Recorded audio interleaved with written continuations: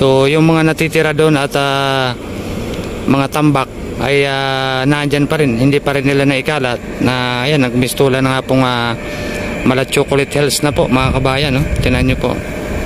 Ayan, Mala Chocolate Hills na po yung uh, itsura dyan ng uh, tambak. No? Maging dun sa party nga unahan, ganoon din. No? So talagang napakarami na pong uh, tambak dyan mga kabayan.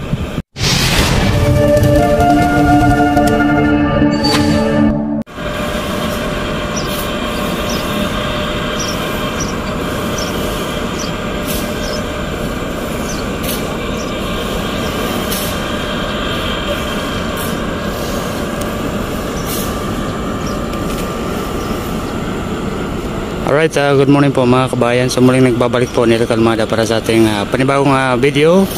Siyempre panibagong uh, update natin ngayong uh, araw na to. So maaga tayo dito sa Manila Bay uh, reclamation area po sa may uh, Pasay area na kung saan po ito ay uh, nasasaksiyan na naman natin itong uh, uh, panibagong na naman pong uh, barko no na nandito na nagtatambak po no So maliban dito sa barko na to, ito may uh, paparating pa nga isang barko no. Ayan. So ito yung isang barko, oh. Nako, umusok na ng uh, todo. Ang nangyari dito, no?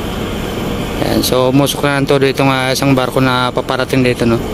So isa din to sa magtatambak dito mga kabayan. Ayan.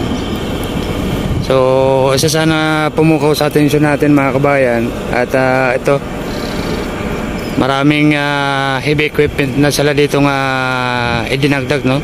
So dati-rati ay isang uh, bulldozer lang at isang uh, uh, bako no? So ngayon na uh, tatlong bako na. Yan uh, ito isa.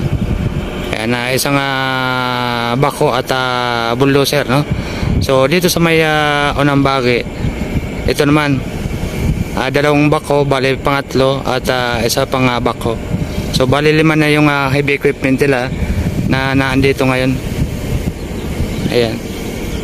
So oh, may uh, sasakyan na din doon na nakapasok na no. Ayan po. So mukhang uh, L300 yun no. Ayan. Ayan. So tuloy-tuloy sila dito mga kababayan sa uh, kanilang uh, pagtatambak no.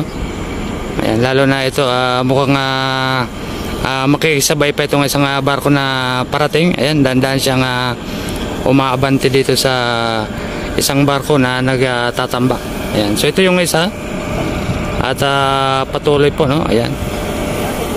Ayan so dyan na po yan sa may uh, tapat ng uh, Sopitel Hotel mga kababayan no?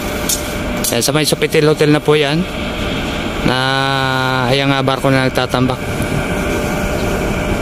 yan, so kahapon at uh, nandito nga tayo nasaksiyan natin yung uh, pagtambak din dito. No? So wala na yung uh, floating uh, vessel dito, yung dredging vessel na naka abang lang at uh, nandyan naka lutang lang dyan sa may uh, parting uh, tubig dagat. No? So ito yung uh, ginamit na lang nila, itong mga tubo o kaya host na yan na dumurugtong sa yung isang uh, barko na napakalaking barko nila na uh, ginagamit. No? Ayan. So dandan itong uh, barko mga kabayan at uh, uh, palapit na palapit siya dito sa isang uh, barkong uh, nagtatambak. Ayan po.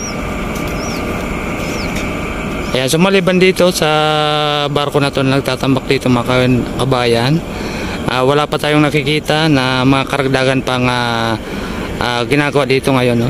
So yun lang po yung uh, gumagawa ngayong uh, araw na to.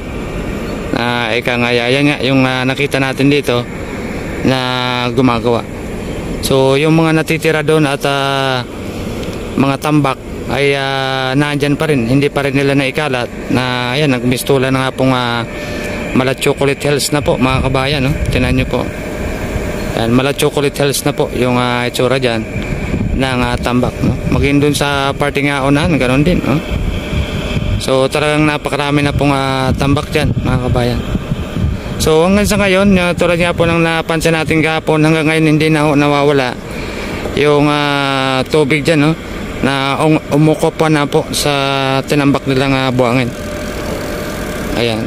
So nagmukhang uh, may lawa na doon mga kabayan. No? Hmm. Ayan, so magandang umaga po sa lahat sa mga kababayan natin. No?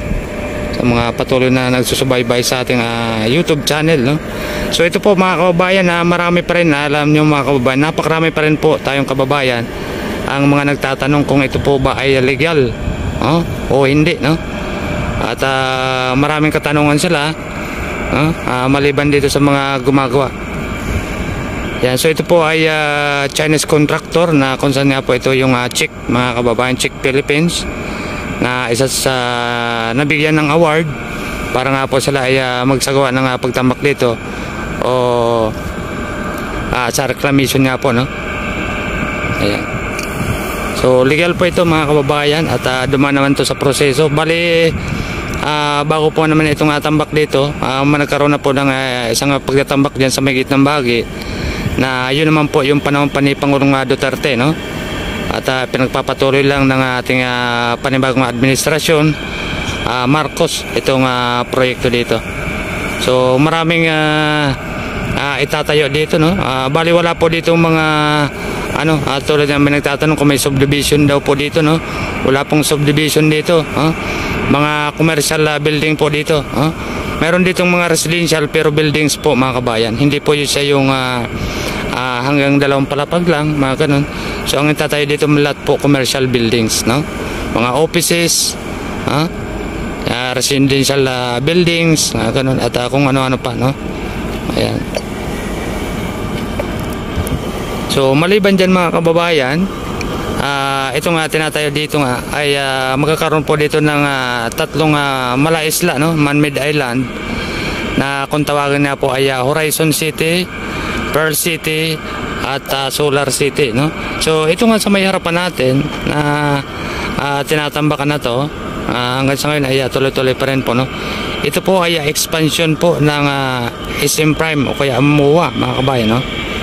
Yan, ito po ay uh, expansion ng uh, uh, SM Prime, mga kabayan na uh, ito nga sa may uh, Tagiliran. So yan na po yung uh, Tagiliran ng uh, MOA po, no? Yan mga buildings na yan.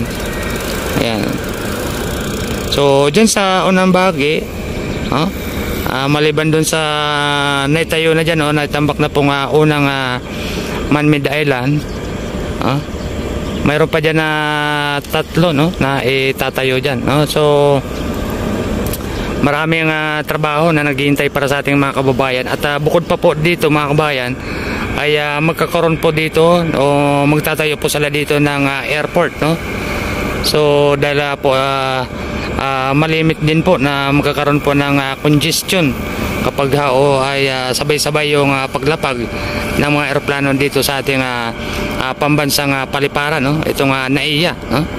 So sakali po ay uh, magiging uh, karagdagan na ginhawa sa ating mga uh, kababayan hindi lang sa ating mga kababayan kundi maging sa uh, ibang uh, mga ibang lahi no? Lalo na yung mga pumupunta dito sa atin no So yung uh, itatayo nilang airport, uh, dyan po sa may gawi po ng uh, Paranaque, uh, Bacor. Uh, dyan sa may uh, parting na dagat na dyan. Yan. So dyan sa may uh, parting na yan, kasi ito na po yung mga MOA, kaya uh, dyan po yan itatayo yung uh, Island Sea, no? kung tawagin nila mga kabayan. Ayan. So ito po yung update natin ngayong umaga. Maraming salamat sa inyong walang saong pagsusubaybay. Suporta sa aking uh, YouTube channel at siyempre kung kayo po ay bago lamang, pasubscribe po sa aking uh, YouTube channel mga kabayan. Nero Karmada at uh, wag po ka natin kalimutan ang uh, notification bell nang ganun po maging updated po tayo sa mga ina-upload natin mga video. Maraming salamat. Ingat-ingat po mga kabayan. Ingat-ingat po.